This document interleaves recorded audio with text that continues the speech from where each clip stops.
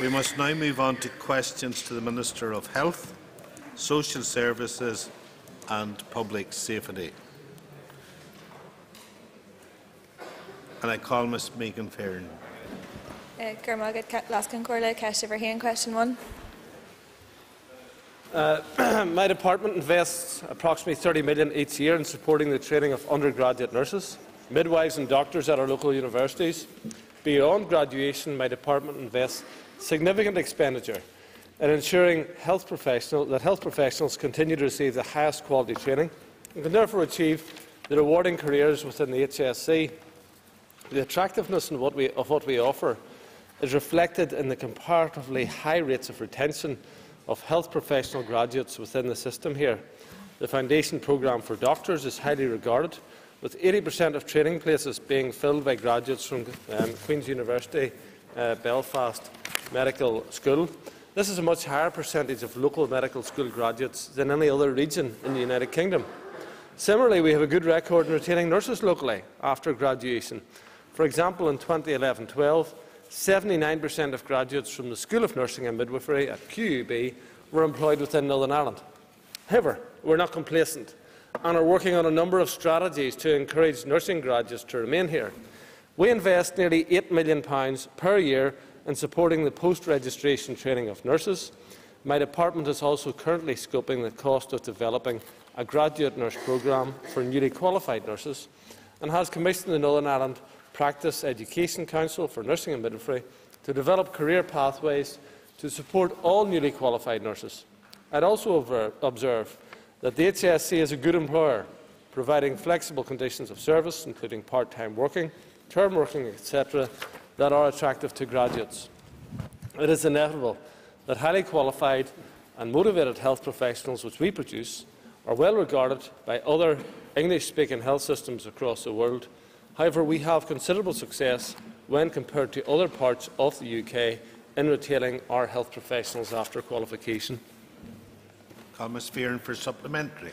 I thank the Minister for his answer. Can I ask how the Minister intends to encourage new graduates into specific fields um, that we require most for our local health service? Well, in terms of nursing, for example, um, I have given the task of education and training of nurses, uh, the responsibility of that to the Chief Nursing Officer.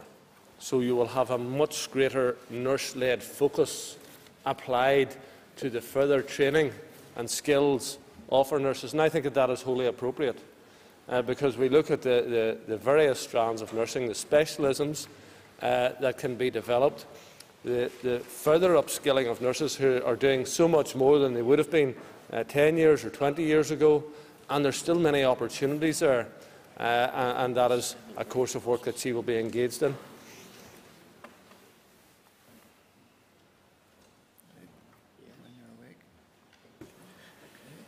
Call Ms Pam Cameron. Thank you, Deputy Speaker, and I thank the Minister for the answers um, to the questions so far. Um, can the Minister provide a breakdown of how much he is investing in the training of nurses?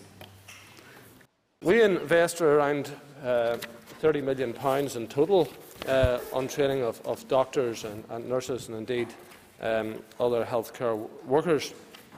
In terms of uh, the nursing provision, uh, it is an important um, component and element of it, and the Department provides support by way of payment of university fees uh, to students taking up commissioned places.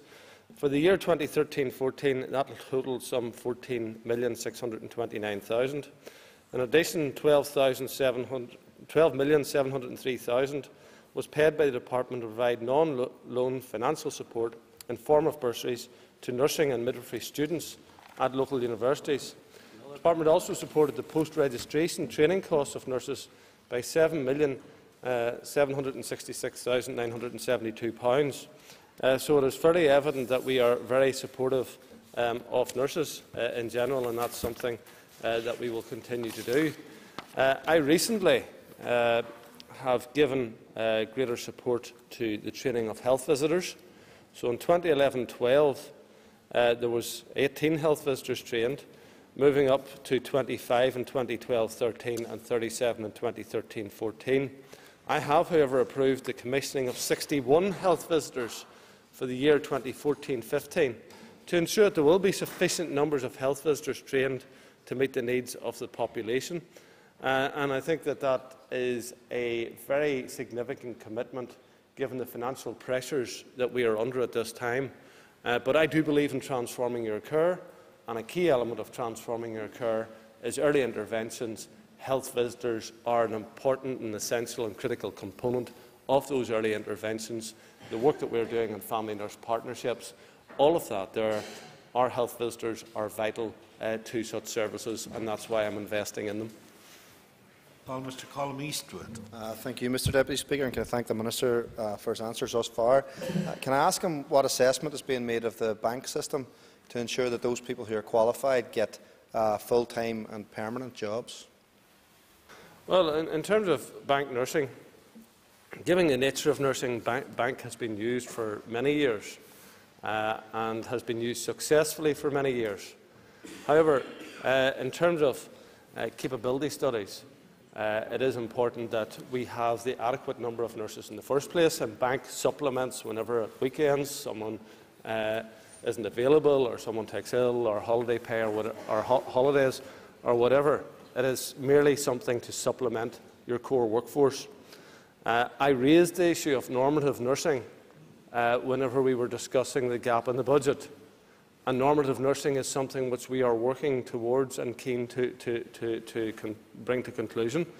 And that was under threat, and I suppose remains under threat uh, until the October monitoring round uh, actually happens and, and, we see where we stand. Uh, but we are committed uh, to ensuring that we can have what is described as normative nursing, which is approximately 1.3 nurses per patient. Will members please note that question 11 was withdrawn. I now call Mr Barry McElduff.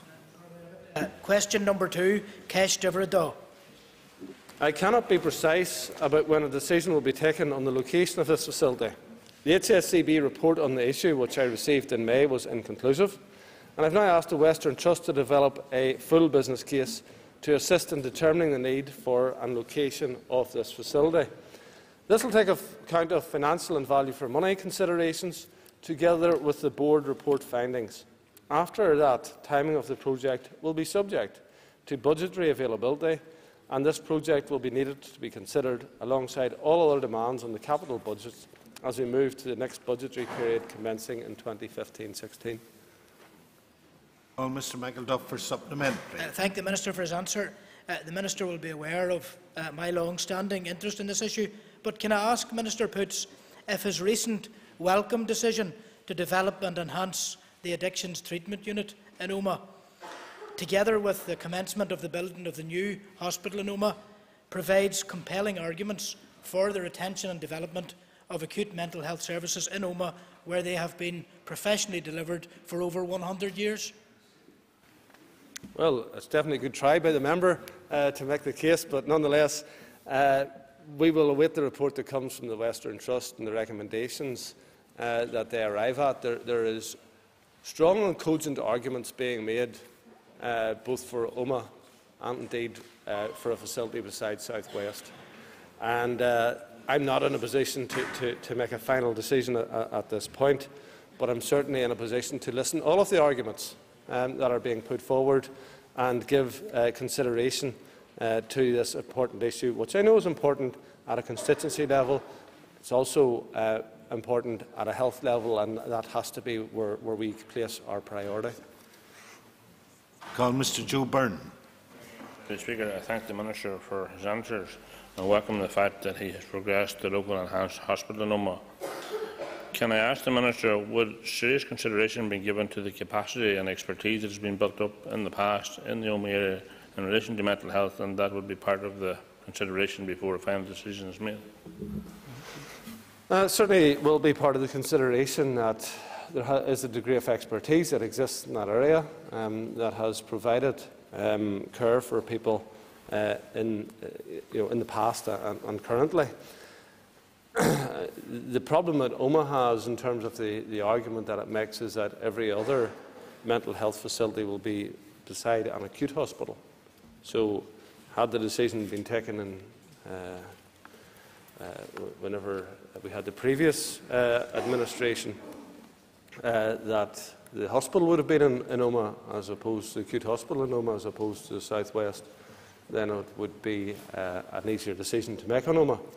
Uh, so it is a complex uh, set of issues that we have to, to, to go through here uh, before we make a final decision, but we will give uh, everything due and fair consideration. Call Mr Michael McGimpsey. Thank you, Mr Deputy Speaker. Question number three. In the absence of additional funding being provided for health and social care, it is now necessary to consider the implementation of a range of measures designed to address my department's current funding gap. One of these is pay restraint. I have asked the Northern Ireland Executive to consider these measures and their potential impact on the citizens of Northern Ireland. The decision on pay will be taken, forward, will be taken forward following this consideration. Mr McGimpsey for supplementary. Uh, thank you, Mr Deputy Speaker. Bearing in mind that the stress many staff are feeling uh, attempting to deliver the service for patients, and bearing in mind that one of the key ingredients is having the right number of people in the right place at the right time with the appropriate skills necessary to address the needs of patients, uh, is it wise to allow a situation uh, to develop that may cause staff to consider industrial action concerning the proposed 1% pay rise, which is, let's face it, a very small amount. Yeah, well, the situation is, is, is, is simple. I, I, I would want to give them more than 1%. I would want to give them uh, the 1% plus, plus in, incremental pay rise. Uh, that isn't what has happened in England, where it's 1% or incremental. And uh, I've raised this issue at the executive twice. So at this moment in time, my budget falls 140 million pounds short. If I was to uh, introduce pay restraint, which means staff will get uh, 1%, or staff will get their incremental pay rise, but not both, that will save 14.9 million pounds.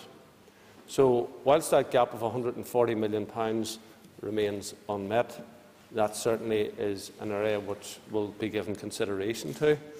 Uh, so, it is really a matter for the executive to decide um, in the October monitoring round how much money I receive. I would hope that that October monitoring round will come forward sooner rather than later, because I don't think it is good for staff morale um, on any of these issues uh, to have uncertainty. And at least if we have some certainty, people know what the situation is. So I am not holding back on giving a pay rise. There will be a pay rise of some description. Uh, whether that involves pay restraint or not depends on the envelope that is delivered to me by my executive colleagues. Call Mr Gordon Dunne. Thank you, Mr Deputy Speaker. May I thank the Minister for his answers today. Does the Minister recognise public concern about bonuses? Bonuses which are better probably known as Clinical Excellence Award, awards paid to consultants. And has he any uh, plans to review them? O- on that issue, um, well, we, we froze uh, clinical excellence awards over the last two years, and in, in actual fact, um, we're paying out less now for clinical excellence awards than was previously the case. Uh, I recognise public concern on this issue, and it is a difficult one. First of all, these are now recognised as part of people's contracts, so taking clinical excellence awards away from people who have them uh, will almost certainly uh, leave us in the courts with a very weak base uh, to make our case. The second element of it is that in many of our hospitals, we're hearing a message that it's difficult to get consultants, difficult to retain consultants. And that is particularly evident in the west of the province, indeed in hospitals like Causeway and so forth. So, you know, we have people on the one, one side arguing, well, you shouldn't be giving um, the, the, these consultants bonuses. And on the other hand, they're arguing, but we want all of the services, and those services can only be provided by having the consultants available to do the job. So sometimes people are asking for, very often, in fact, they're asking for what is impossible. You want to get the consultants there, on occasions you're going to have to pay them to be there. And we are competing in a global market for, for consultants. They are very skilled people, very sought after people on a worldwide basis. And we have many, many consultants here in Northern Ireland who, who could get jobs anywhere, anywhere in the world high demand uh, for people of those skills and capabilities. And maybe sometimes we would do well to appreciate just what we have in terms of the work that is provided, the skills that, that, that are provided Uh, uh, uh, through, through our consultants. Well, Mr Fearghal McKinney. Deputy Speaker, and can I thank the Minister? And can the Minister reassure the House, and I think we all understand that there are pressures in the system, can he reassure the House that he is taking all measures possible to deal with admitted, admitted waste in the health service? Well, you see, I would never be one that would try to claim ridiculous things like there's no waste in the health service. Can we pinpoint every pound of waste? Uh, no, we can't. Can we reduce waste? Yes, we can. Have we reduced waste? Yes, we can. Uh, and, and, all of those things are important. So, you know, we have saved £492 million pounds over the course of the last three years. We're saving a further £170 million this year. And if I'm asked to live with something less than £140 million, that will be on top of the £170 million. So we're heading close to actually saving three quarters of a billion pounds over the course of the four years whilst at the same time bringing down waiting times and waiting lists and increasing the number of nurses and doctors, uh, consultants, allied health professionals. So, yes, I want to continue to drive out waste because if I can get rid of waste, that allows me to employ more people um, who are actually doing frontline uh, service jobs. And the more I can employ people to do frontline service jobs, will ensure that we get a better health service for the people that we all want. Call Ms Bronwyn McGahan for a question. Gurmailgata, question four. The Regional Workforce Planning Group was established to take forward the specific proposals within the Transforming Your Care relating to workforce planning. The group is currently completing the development of a framework for workforce planning, which will strengthen HSC workforce planning across the region and inform the basis for taking forward a programme of workforce reviews. Whilst the framework is being finalised, my department continues to lead on regional workforce planning and a number of workforce reviews are currently in progress in relation to nursing, medical specialists and medicine. In addition, workforce planning is an essential element of several other reviews going forward, such as the review of imaging services. These reviews will provide important evidence to help influence education, commissioning decisions. My vision for HSC workforce planning is to move towards a more integrated, flexible and responsive system that identifies the workforce numbers, skills, values and behaviours that patients and their families need both today and into the future. Ms McGahan for supplementary. Gurmayogadai, I thank the Minister for his response. Minister, a, a number of pieces of consultancy work um, into, conducted into workforce planning over the years. Can you tell me uh, how much has this cost? Well, uh, the member hasn't been specific, so it will be impossible to, to, to answer that question. Um, I know that we are currently spending um, around a million pounds on the TYC consultation uh, support that is being provided. Uh, the, the, the, level um, of skills uh, relating to very specific issues wasn't available either within the HSCB, uh, the department or the trust, and that's why that um, support has been provided. And uh, it has been provided uh, in the belief that we will actually save money um, and save more than the million pound that is spent as a result of the work that is carried out on our behalf. Mr Gregory Campbell. You, Deputy Speaker. Uh, can the Minister outline the impact that he's had on the numbers of key staff in the local health service workforce? Well, in terms of, uh, of, of, where we are in, in, in administration and uh, clerical, if we look at, at the, the, the, periods of time that, that between March 2011 and 2014, um, that's, that has now changed and, and, and, and moved, moved on um, somewhat significantly um, towards downwards. But in terms of qualified nurses and midwives, uh, we have had a 5.7% increase. In terms of nurse and midwifery support, we've had a 3.1% increase. In terms of consultants, we've had a 15% increase. In terms of allied health professionals, we've had a 12.7% increase. And in terms of allied health profession support, we've had 21.7% uh, of an increase. The whole-time um, equivalent number of nurses um, has moved up uh, well, and that is something that we will continue uh, to seek uh, to ensure that that is the case.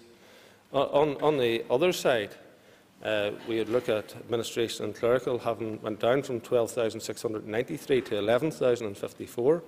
The state services dropping from 697 uh, to 694. Uh, support services 6532 down to 4,840.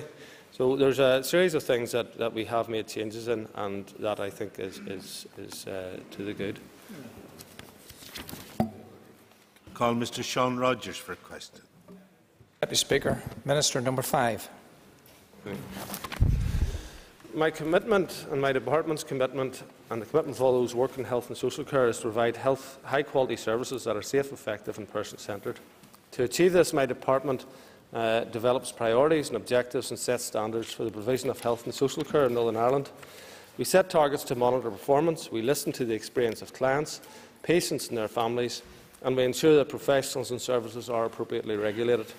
The Department's statutory duty in relation to health and social care is set out in Section 2 of the Health and Social Care Reform Act 2009.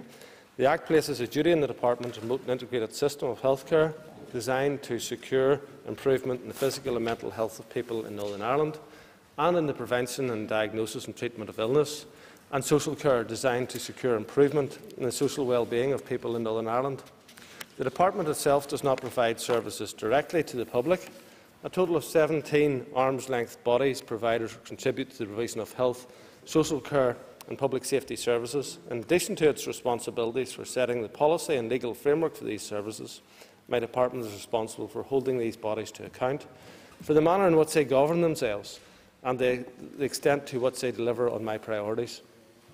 My department issues an annual commissioning plan direction to the HSC Board and the Public Health Agency. The direction details my priorities and sets standards and targets to be achieved in any given year. In responding to the direction, the HSC Board, in consultation with the PHA, produces an annual commissioning plan which sets out the services to be commissioned. Mr Rogers for a supplementary. Could I thank the Minister for his answer? I speak of a courageous young lady in South Down that you know of as well as I do has spinal muscular atrophy, who needs an uninterrupted supply of electricity in order to live. What can you do as Minister in terms of provision of a generator to ensure she re receives the same level of care as the rest of us would have? Well, uh, first of all, I know the young lady uh, very well, and, and, and, she is indeed a very brave young person who has done much uh, in, in, terms of raising awareness about the particular condition from which she suffers, and uh, is a great encouragement to us all in her fortitude and in, in, in, how she manages uh, that particular condition.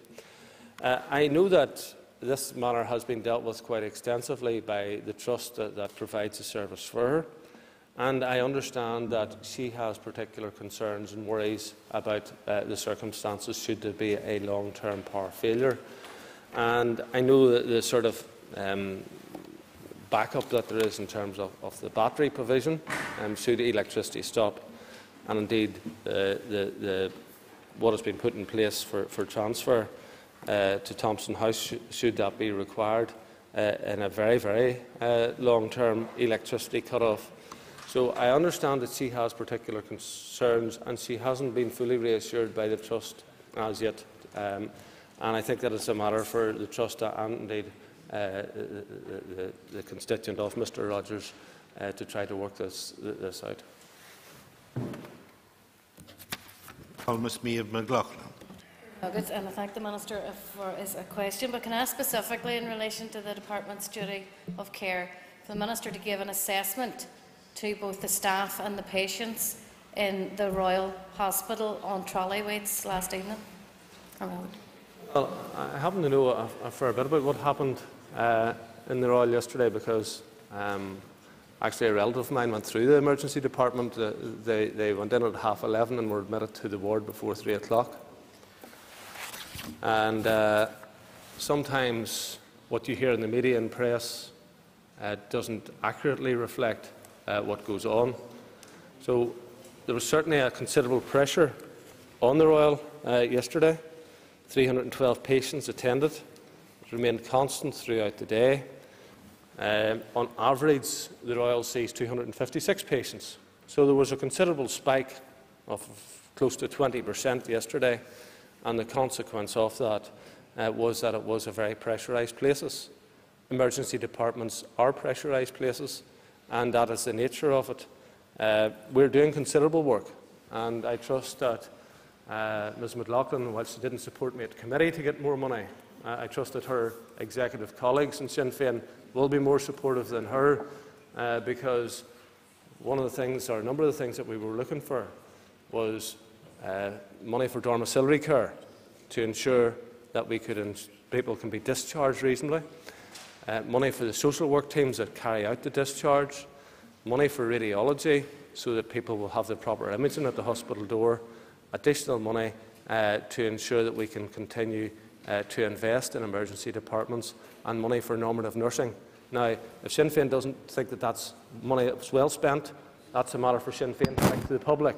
I think that we can really improve our flows in hospitals and ensure that our emergency departments can operate more efficiently we, uh, were we to get that support. And I would hope, because it was suggested that the October monitoring round could actually be uh, completed for the end of September, I would hope that that's the case. I would hope that Sinn Féin won't uh, cause there to be any delays on the October monitoring round to come forward earlier rather than later because it will help us actually make these very important decisions, Mr uh, Deputy Speaker, earlier, and that would be to the benefit of the community. Call Mr Danny Kinahan. Mr Deputy Speaker, and I thank the Minister for his answer so far. But does the Minister believe that his department is showing the duty of care to all those who walk through the doors of Antrim's A&E? Because the provisional figures for last month, which is meant to be the quietest time of year, showed that only 65% were treated within four hours, even though the target is 95%. Well, I, I suppose, Mr uh, Deputy Speaker, if I hadn't been left to the circumstances of the member's uh, own party closing the Mid Ulster Hospital and the Whiteabbey Hospital at the same time and sending all of those people to Antrim ED, uh, there might be less pressure on ED. But that was a decision that his party made, that his party supported, and that the rest of us have to live with now. So that's the consequences that we have to work in. Subsequent to that, we have made significant investment in Antrim ED. We've built a new emergency department which is capable of uh, dealing with 90,000 patients per year. We uh, took on 40 more full-time nurses. Uh, they have uh, a considerable number of consultants available to them. So yes, we are doing our best to ensure that the emergency department in the Antrim Area Hospital uh, is uh, capable of dealing with the numbers that come through it, not least because of decisions made uh, by the member's own party. Call Mr Cathal Boylan for a question. Ceiste Share, let a hold question number six, please. A, price, a pharmaceutical price regulation scheme has been in place for over 50 years.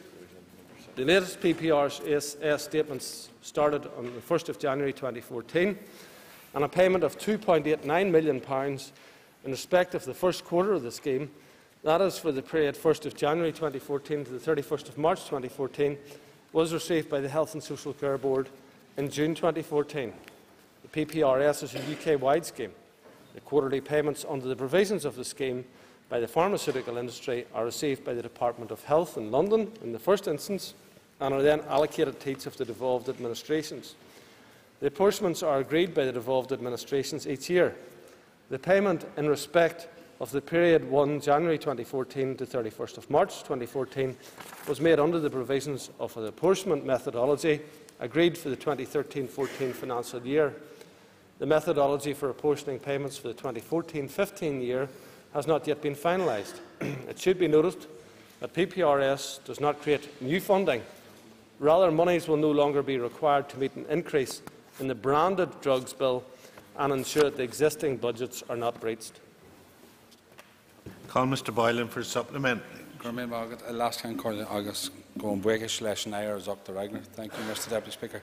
But could I ask the Minister, in light of his answer, how does he propose that that allocation should be used and is it best value for money?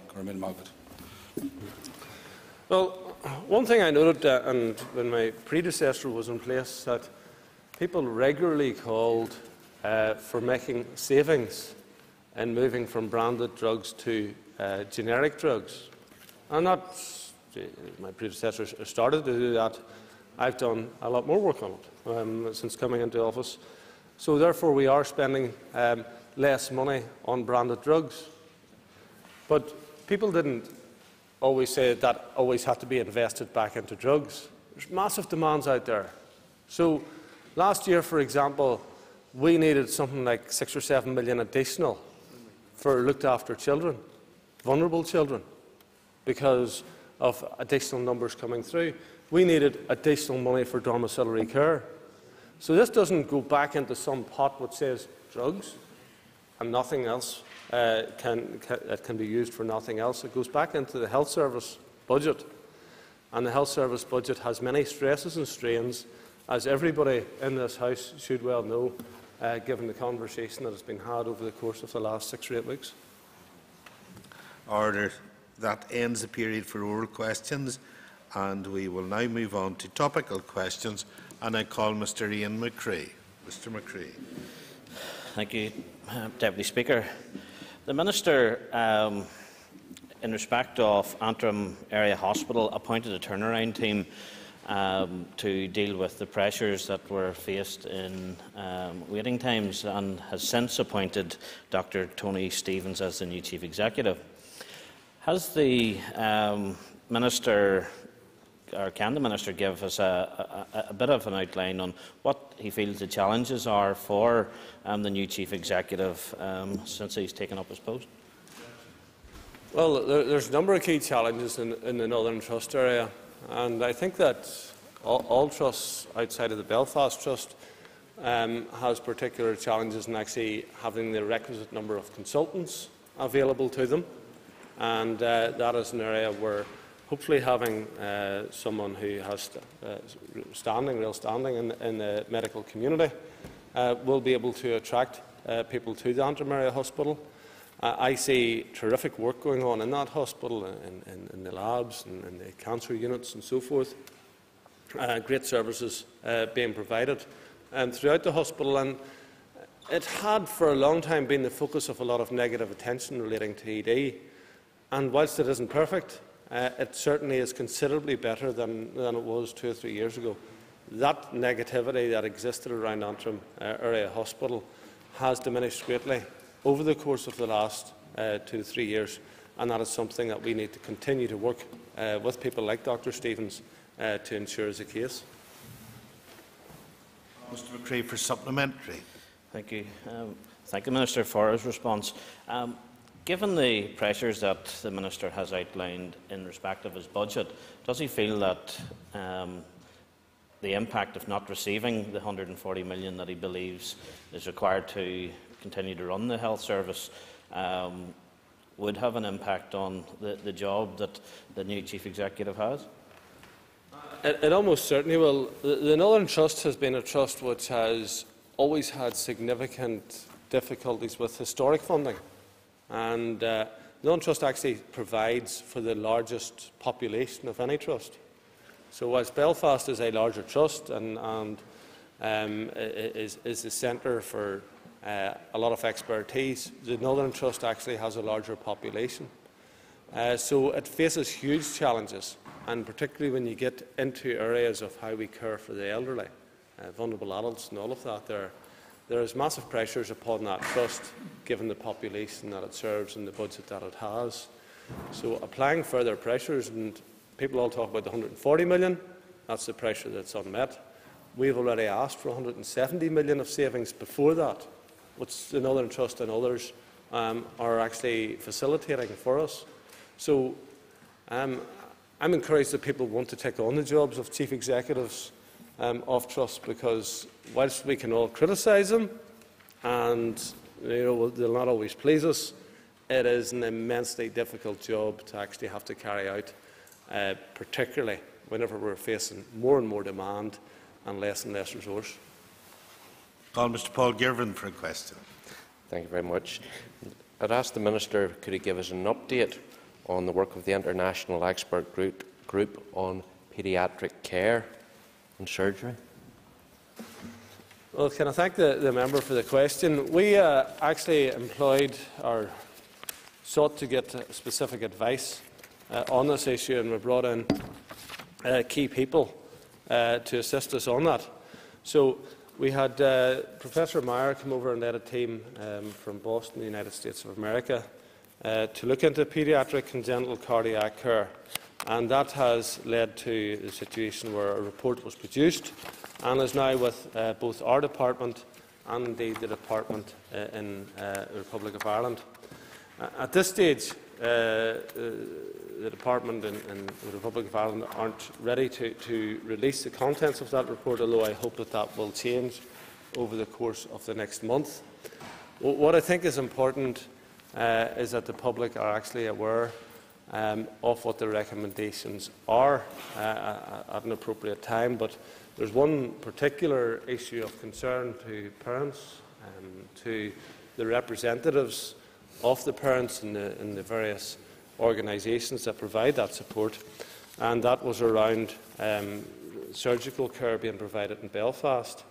And regrettably, the, the conclusion that, that these key experts have came to is that the overall model for delivering both children and adults congenital heart services uh, on the island of Ireland um, wouldn't allow Belfast um, to sustain uh, surgery uh, at that site, uh, which would mean that the, the vast amount of vast majority of surgery would actually be carried out in Dublin. Mr Girvan for supplementary. Thank the Minister for his answer, but in, in answering, I'm wondering, uh, he did mention uh, that the report was compiled and ready. When will that be made and published and made, made available uh, for, for everyone to, to, to look through? Uh, on the understanding that I appreciate there seems to be some delay in the Republic of Ireland allowing that to happen at the moment.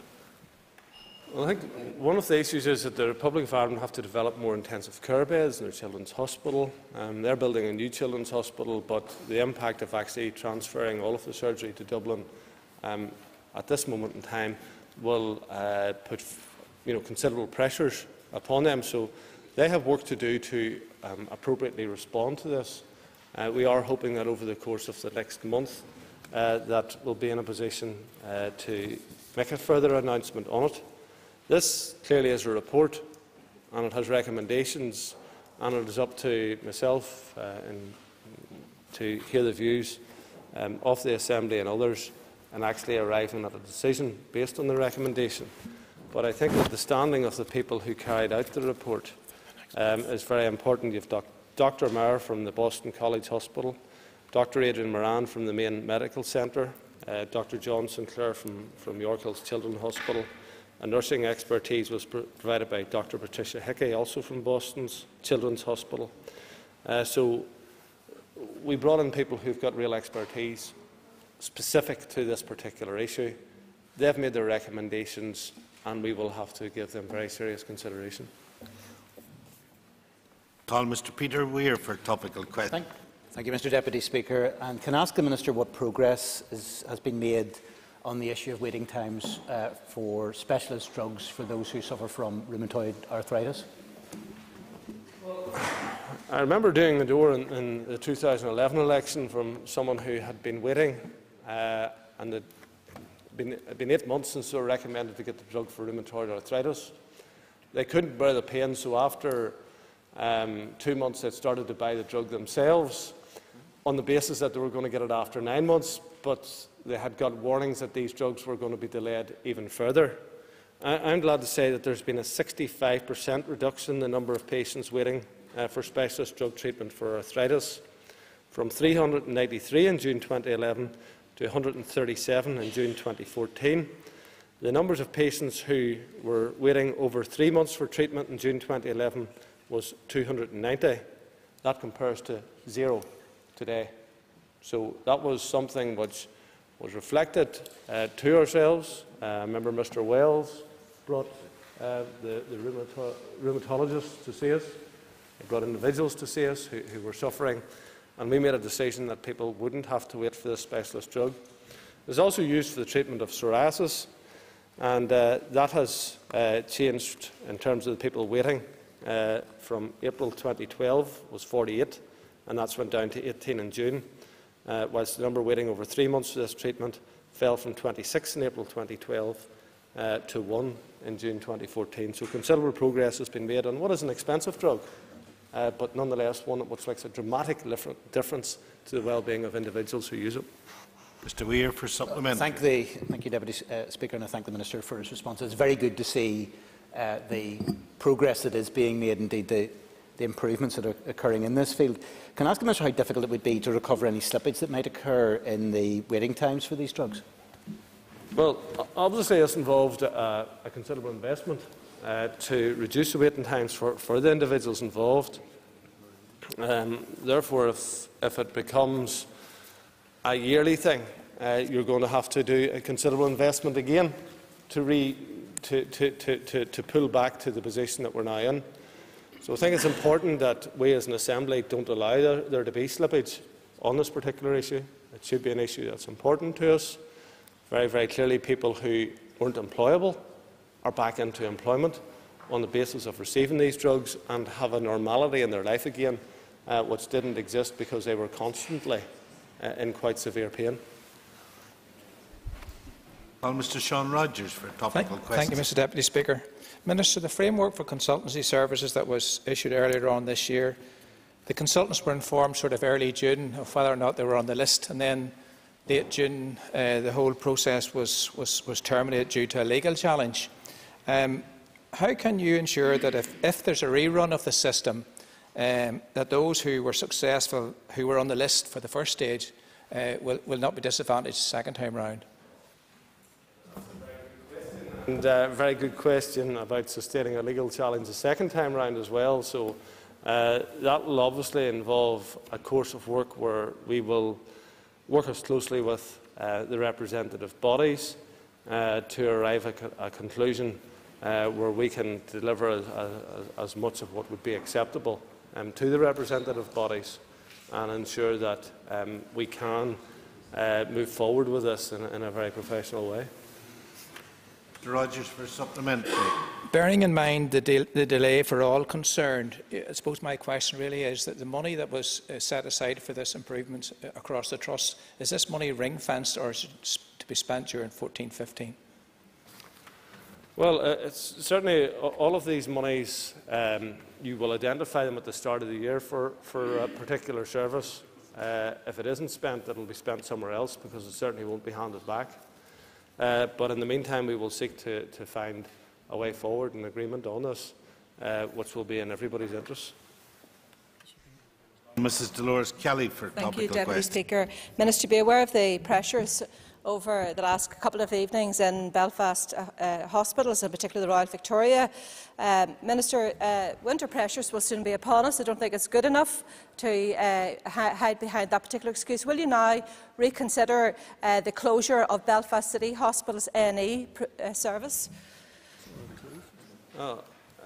I'm not sure the member wants me to consider the closure of an emergency department that hasn't been open for, for a period of time, but actually what's if the member was following the health brief particularly well, uh, she would have heard that it is our intention uh, to actually open up facilities in Belfast City Hospital, which will ensure that general practitioners are going to be able to directly admit mainly our older people um, who have respiratory um, or renal conditions uh, directly to the City Hospital and uh, use uh, facilities there for a medical assessment unit.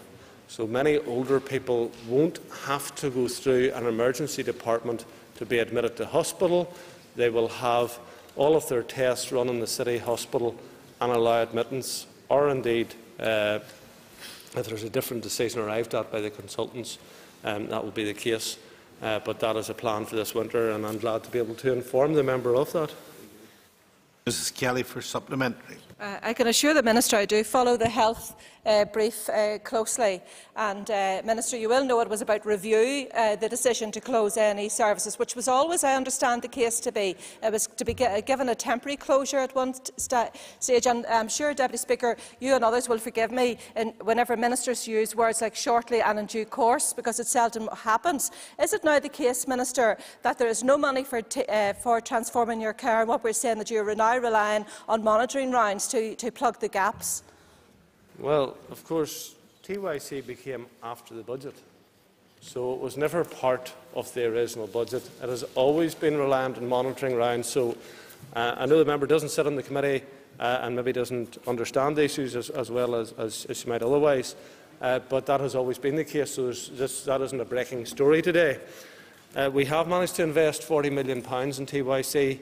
I would like to have invested more at this point, uh, but we are making a dramatic difference and the member mightn't like to, to hear about it, but in terms of atrial fibrillation, there's a course of work going on on atrial fibrillation, which will ensure that 150 less people in Northern Ireland will suffer from stroke than is currently the case. Now, that will not make news headlines because the fact that you don't have a stroke isn't news. But for 150 people who don't have strokes, that is something which we will take great pride in delivering through transforming your care.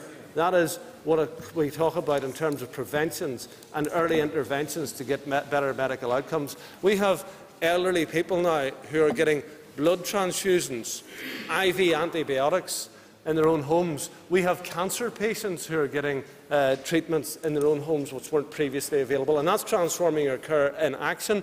And that is where we are progressing to. And that is why I'm totally committed to transforming our care, whilst members um, on her own benches have been questioning whether we should be doing it for some considerable time. Order. Time is up.